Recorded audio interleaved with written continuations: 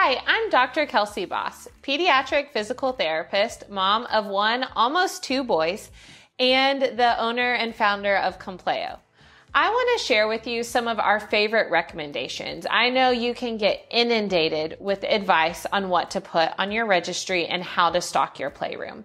There are some really good toys to invest in, and my philosophy is to choose toys that are high quality, that are really going to provide a developmental purpose and also grow with your child. So when I'm out shopping for toys and thinking about toys I'm going to get, I think through, am I going to be able to use this for more than a month? Am I going to be able to use this in multiple ways before we actually purchased? So a lot of the battery operated toys are really specific and the kids get tired of them really quickly. So for the most part, in the first year of life, I stay away from battery operated toys.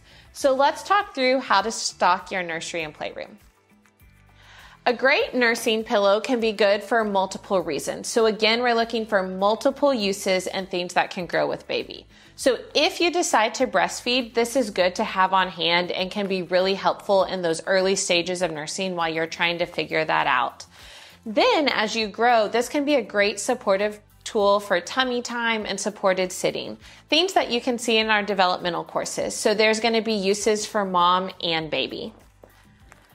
Now we're going to talk through toys for baby. So I love texture toys. It's really important to incorporate all the different senses. So things that have multiple textures on it. I love this one because it incorporates the high contrast so early on, it's going to be really great for visual tracking. It makes sound and noise so you can work on tracking sound. But then these knobs make it a great grabbing toy as baby gets older. So again, we're using it for tracking early on and then it can become a ball that you can roll, it can grab. So we're looking at multiple uses for multiple months. Be careful how you spend your money.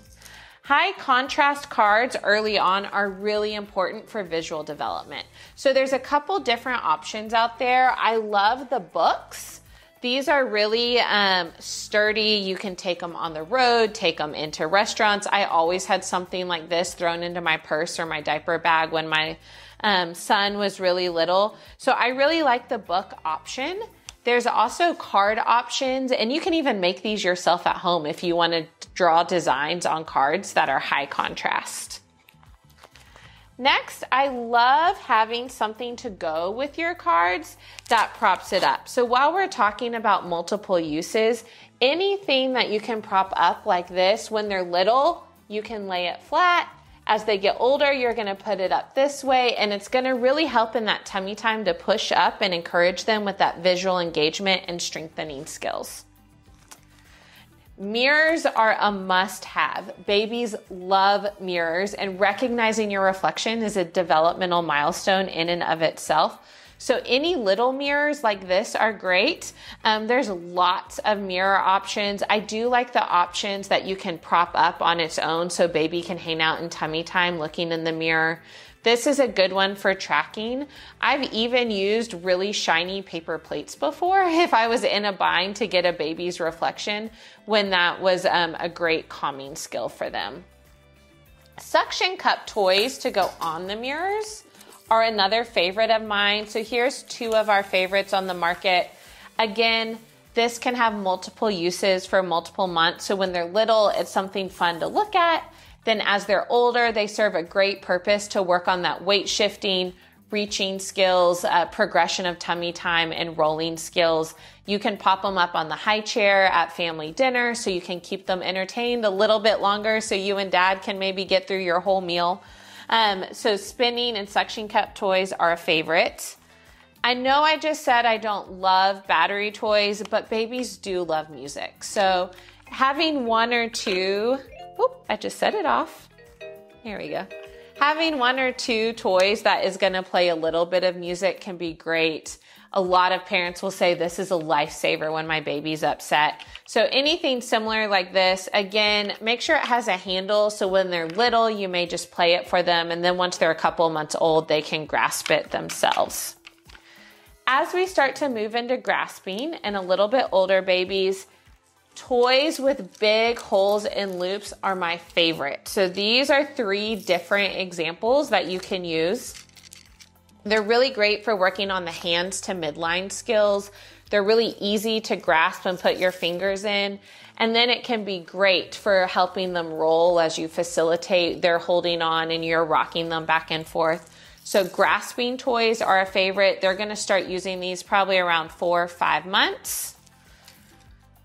Toys that make different sounds. So I love the indestructible books. These cannot be torn. They are waterproof, like rip proof, everything proof. If you have not seen a book similar to this, again, it is a lifesaver. It is one that we just, we kept copies in the car, in the diaper bag, in the playroom. We always had one hanging around to entertain our son. And then crinkle paper uh, makes a fun little sound. Crinkle paper is another great example of those textured toys working in the multisensory component. All of this is laying on a baby mat. If you're only going to register for one toy, it should be a high quality baby mat.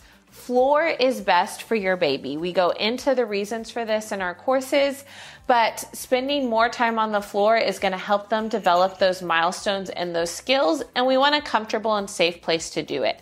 I like a little bit simpler mats that are a little less distracting, but the things I do look for are um, a cushiony, soft surface, something with different textures, and then an overhead gym so that they can lay on their back and in those early newborn stages have something to look at and as they grow work on their reaching kicking batting skills as they work towards rolling this is a great example of one that will grow with them. It's a little bit bigger in size, but it has all sorts of, it has a teething ring, it has textures. So look for a mat that is more than just a simple black and white mat, because if you do that, they're gonna be over it by three months old.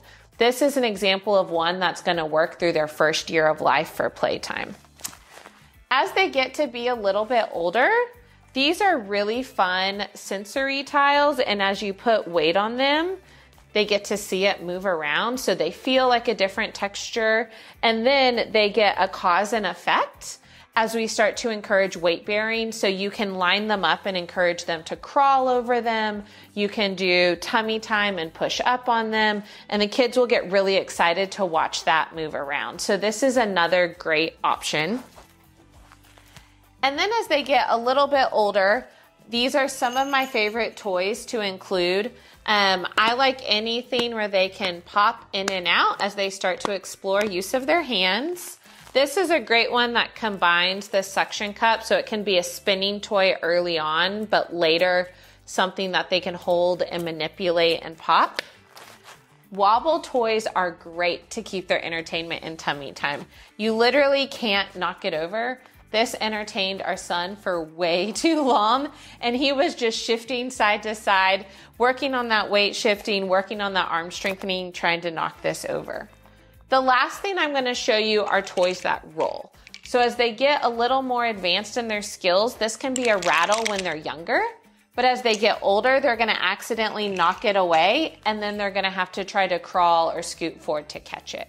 So again, I don't love tons of toys but high quality toys are really going to set your child up for success. And as you're setting up your nur- nursery, I want to encourage you to choose these types of high quality toys over lots of devices.